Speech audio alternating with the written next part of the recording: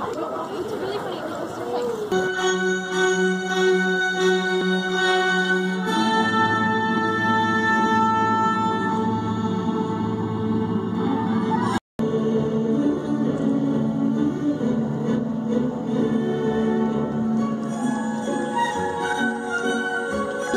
Theater UCF dancers who will be here tonight performing an event uh, inspired by Vandy Wood, Julia Listengarten, and Judy Siegfried.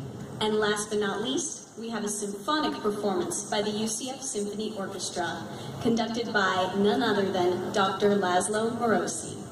And now, without further ado, I present to you Symphony Under the Stars.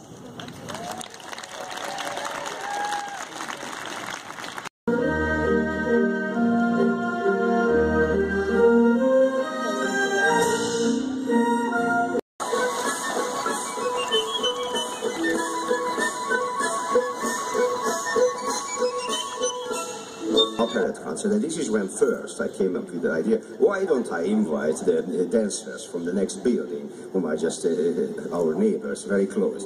And I did. In August we came here with uh, the chair, we checked everything out. The problem was that we got the permission to use the pond just a couple of days before uh, the event happened, so it was very risky to have dancers. Now.